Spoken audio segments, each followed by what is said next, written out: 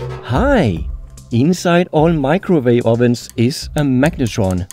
It creates the microwave radiation and, as the name implies, a magnetron contains magnets. Their magnetic field is necessary for creating the microwaves. So, what will happen if I put my monster magnet near a microwave oven?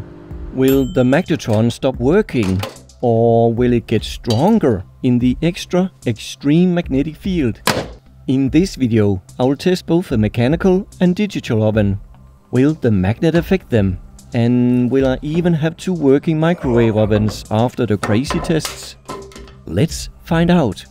Hello. Big neodymium magnets are not toys. Their bone-crushing power demands responsible attention at all times. And make sure you are never cooked by the high voltage and microwaves inside a microwave oven.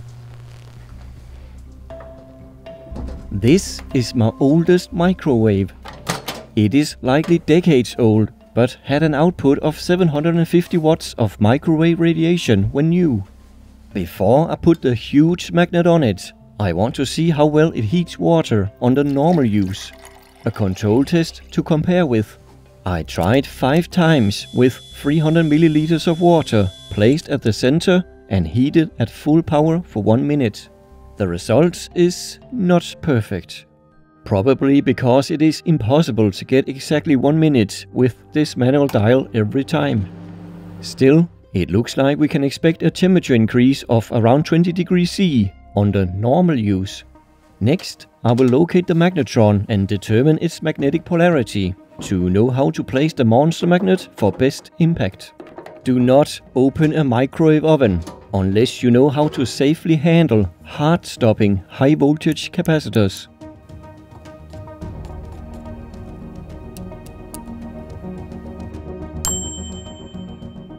Alright, here is the magnetron. It is placed at the top and its parallel magnetic field between the two magnets is vertical. Their polarity is the north pole facing up and south pole facing down. They are ferrite magnets and not strong compared to neodymium magnets. I measure around 1.6-1.7 kilogauss. Great! Time to release the monster. After removing the magnetic lamp near the top of the oven. Since I want to be able to remove the magnet again and avoid chipping the expensive magnets, I will use a wooden spacer. Even with this in place, the next part intimidates me. Here comes the magnet.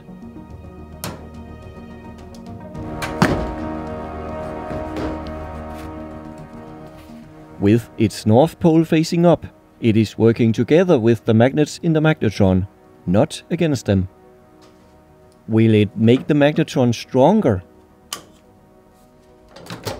The door is malfunctioning and an increased pinch risk. But here we go. Exactly the same procedure as without the magnet.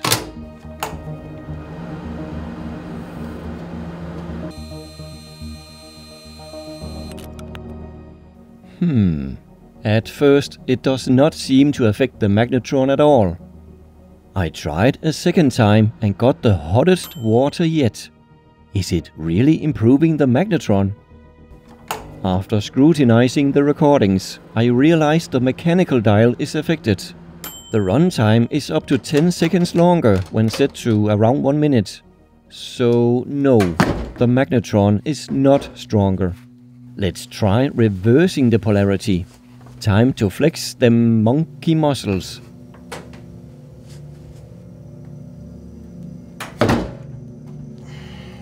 With opposite polarity, the monster magnet is now working against the magnets in the magnetron. Will it matter?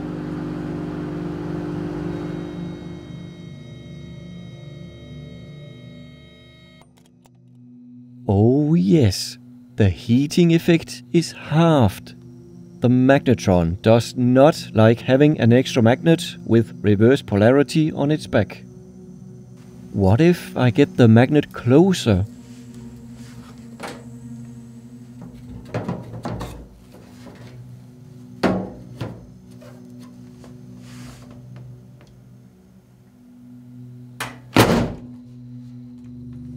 I tried going very close by sliding the thinner part of the wedge under the magnet, but the magnet was already clamping hard.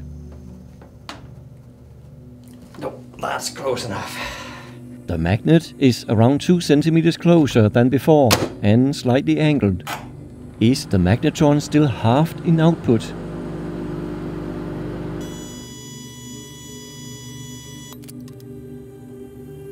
No, Barely working. the magnetron has more or less stopped working now. Wow. I wonder if it is permanent. To find out, I will need to remove the magnet. The easiest and safest way is to get the magnet away from the thick metal parts, especially the beefy transformer.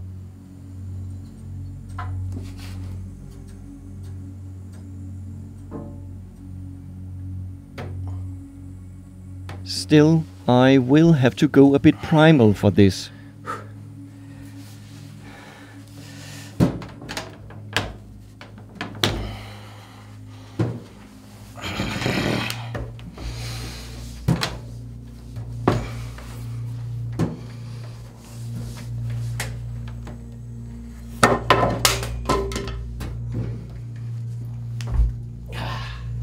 After all the craziness, I am happy to see the microwave is still working like nothing happened. Even though the magnets in the magnetron lost up to 0.1 kilogauss from being demagnetized by the monster magnet in reverse polarity. Less happy about that, but my main issue with the results is how imprecise this manual dial is, with or without the magnet. As my patrons already know, I've purchased a modern digital version. It is 50 watt less than the old one, but decades younger, so perhaps comparable in strength anyway. We will find out after this short message.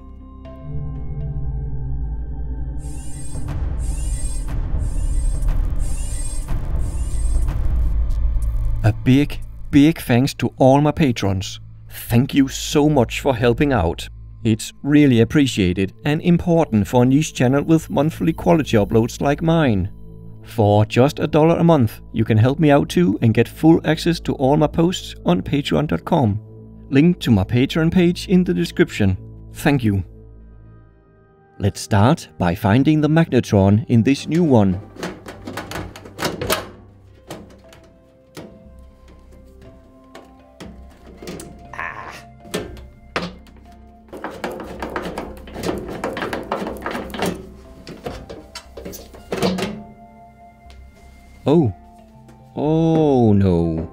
Not what I was hoping for.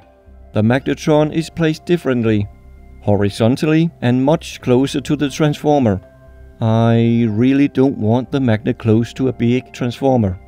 Its large mass of high permeability metal will generate huge pull forces. Not to mention how transformers can stop working near the monster magnet. And to add confusion, the new magnetron has opposite polarity. Its magnets are a little stronger than in the old one. The low reading on one of the magnets is simply because it has a metal flange guiding the magnetic field lines away from the probe. Well, despite the comparison issues, let's give it a go anyway. As with the old model, I'll first run some control tests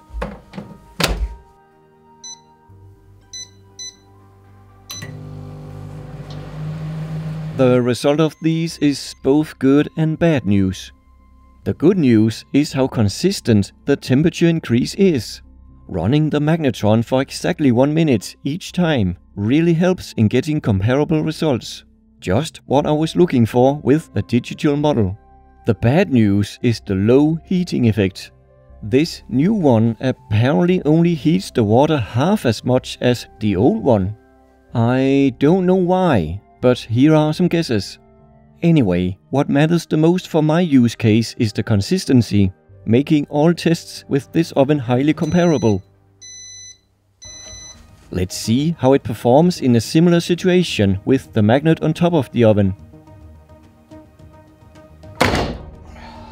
I tried pushing the magnet closer to the magnetron, but um, it was uphill. It's bending. In this setup, the magnet is on the side of the magnetron, adding a perpendicular magnetic field.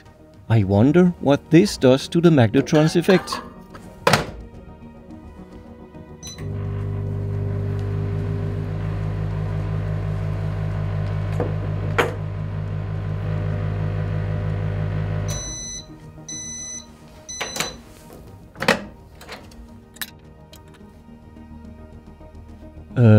It only lost around 15% or so.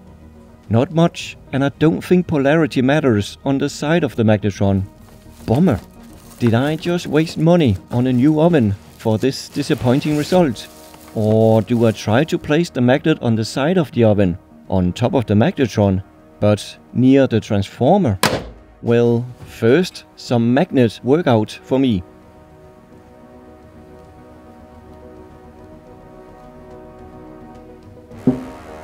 With the magnet at a safer distance from the thick metal parts and no grill top inside this oven. This should be easier. Oh no. Or maybe not. Okay.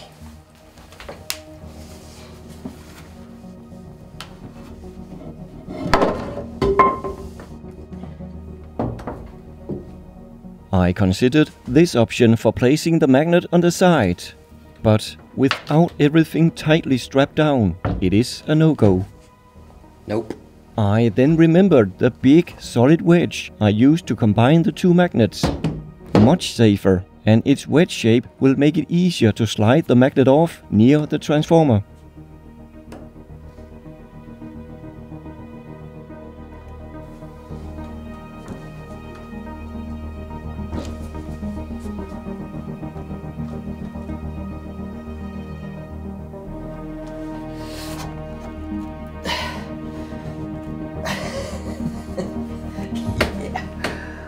That'll.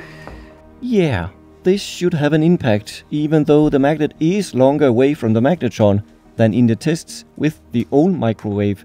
Will this lower the fresh and more modern magnetron's output? Now, before we try it, I would like to tell you about a truly amazing device from the sponsor of this video. I personally find ionizing radiation from radioactivity way more thrilling than the non-ionizing microwave radiation. If you feel the same, you should take a look at Radiacode. This tiny device impressed me when I tried it for the first time back in 2021. I have used it ever since because it is packed with features that primitive Geiger counters can only dream of. Yet, it is an easy everyday carry. It fits in my pocket and pairs with my smartphone. So I will know if I'm near something highly radioactive and I can quickly find the source using the search mode. And since this is a smart gamma ray spectrometer, I now finally have a chance of figuring out the actual radioisotopes in the source, opening a whole new world to me and re-energizing my enthusiasm for radioactivity. For the dedicated enthusiasts, Radiacode is now releasing an improved G version with cutting-edge technology, a GAGG scintillation crystal. GG Radiacode, GG indeed. For much more information, I recommend you check out their website, link in the description. And if you use my promo code BRAINIAC75, you will get a 10% discount on any order. Thanks Radiacode for making a difference and helping out my channel. Now back to the non-ionizing radiation. Alright, will the display light up? Yep, promising start. But what about the magnetron? The door latch works fine too. Is the magnet doing absolutely nothing to the oven?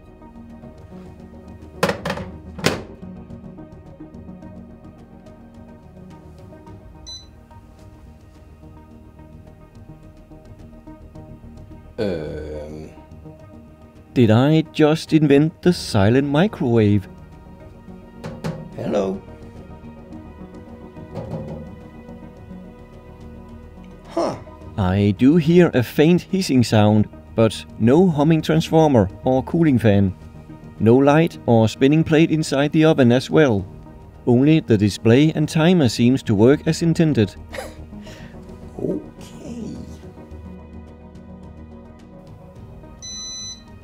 I find it unlikely that the magnetron is doing anything, but let's measure the end temperature for good measure.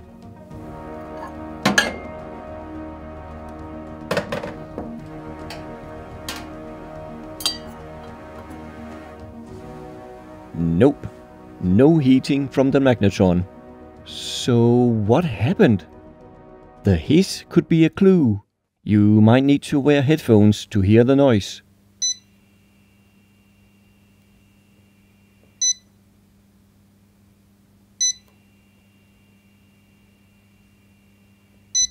I believe the issue is this relay on the circuit board. The timer is telling it to switch on, but the electromagnet inside the relay is desperately fighting against the magnetic field from the monster magnet. It is magnetically stuck in the off position.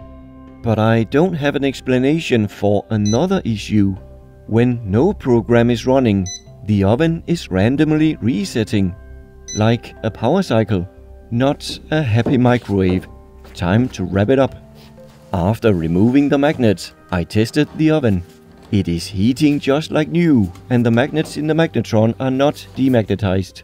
Likely because the monster magnet was not as close, and the transformer right beneath the magnetron gobble up much of the magnetic field from the monster. Overall, the conclusion is, yes, you can affect a magnetron with an external magnet, but it takes quite a lot.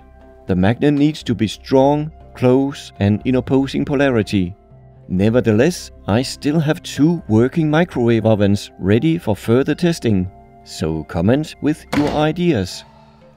Hope you liked this video enough to click like and perhaps subscribe for more like it. In any case, thanks for watching. Bye for now.